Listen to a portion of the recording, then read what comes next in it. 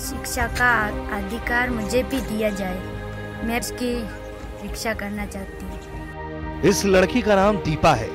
दीपा उस शरणार्थी परिवार की बेटी है जिसने पाकिस्तान में रहते हुए अपनी आँखों में डॉक्टर बनने का ख्वाब देखा था।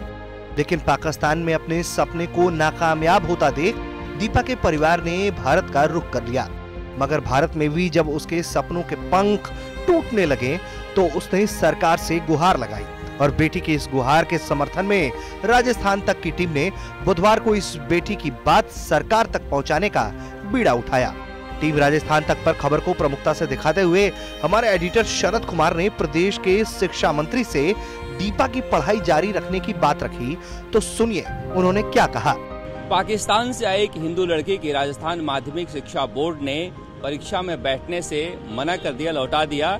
आ, हमारे साथ हैं राजस्थान के शिक्षा मंत्री गोविंद सिंह डोटासरा उनसे बात करते हैं। सर क्या मामला था? क्यों लौटाया गया और आप क्या देखिए जो माध्यमिक शिक्षा बोर्ड की दसवीं और बारहवीं की जो एग्ज़ाम होती है उसका सिलेबस होता है। और माध्यमिक शिक्षा बोर्ड का दसवीं का सिलेबस होता है तो उसी हिसाब से बारहवीं का में एग्ज़ाम में बैठ सकती है।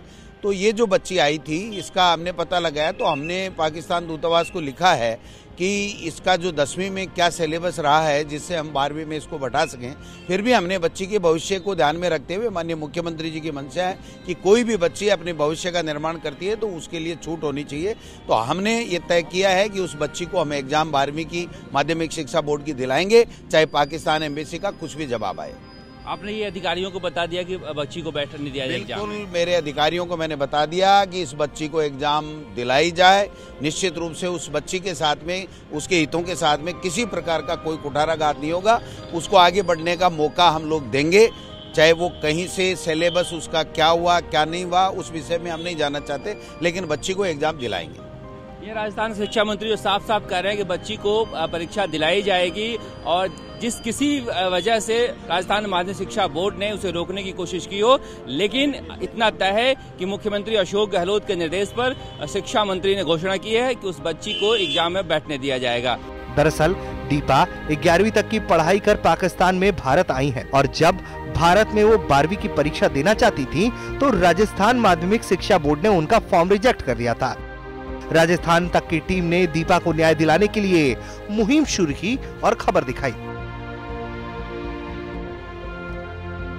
राजस्थान सरकार के 2012 के आदेश हैं कि इस तरह के मामले में पढ़ाई नहीं रोकी जा सकती है।